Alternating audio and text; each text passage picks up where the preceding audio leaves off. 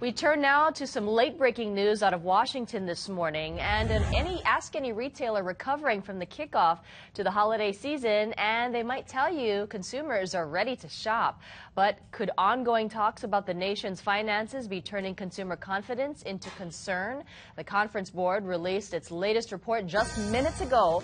KITV4's Hallie Jackson joins us live from Washington with the latest. Good morning, Hallie.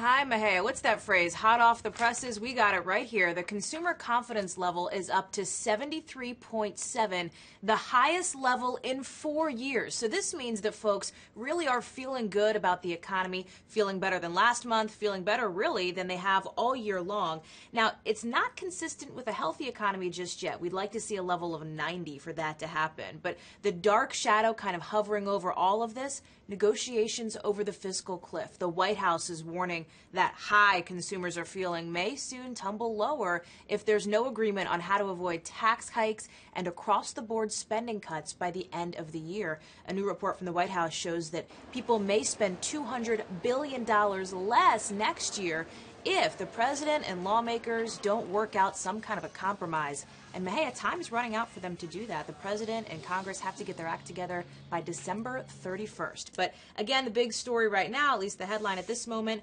consumer confidence is up. People are feeling better about the economy, better about jobs right now. Well, I certainly felt good about it. I went shopping this weekend. Did you? Look at you. I did a little bit, got the Christmas presents for the nieces. Yeah, so I'm part of that, that Black Friday holiday shopping group. Oh, yeah, it was crazy here. Uh, one more question, Hallie. How are negotiations going on between lawmakers and the White House?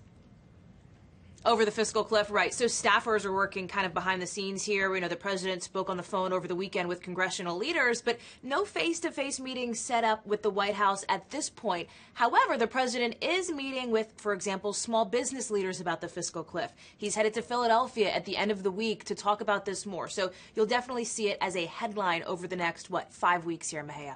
All right, Hallie, thank you so much for joining us live from Washington, D.C. Also,